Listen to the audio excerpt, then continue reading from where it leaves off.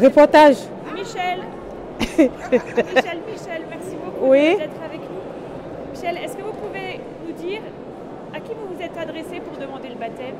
Bah, je me suis adressée au Père Moïse, qui fait partie de la parole du Conéré, qui est le prêtre de là-bas, Vous avez frappé Euh, à la porte de euh, oui. du précipité de Conéré.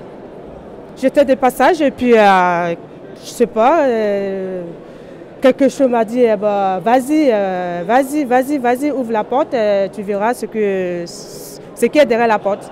Euh, je suis allée à la messe deux fois, trois fois, quatre fois, plusieurs fois avec mes enfants. On faisait les messes de famille. Et puis euh, tout à coup, j'ai eu le courage. je suis allée voir le Père Moïse après la messe.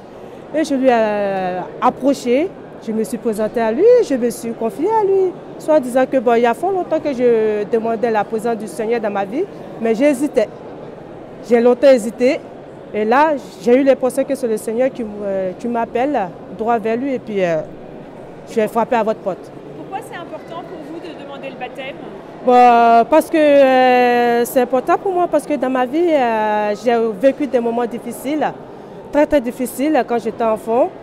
Euh, après ça, mon père qui, a- qui est décédé aujourd'hui, qui avait 85 ans, qui est décédé euh, il y a trois ans de cela.